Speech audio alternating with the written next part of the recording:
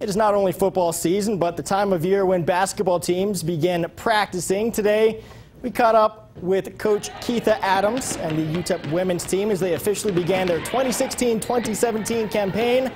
Jenzel Nash and Sparkle Taylor returning, both of whom are preseason all-conference selections. Plenty of newcomers on the roster as well, though, including several players from out of the country who say they're just now adjusting to El Paso life. It was a culture shock, you know, uh, because of the food, it's totally different.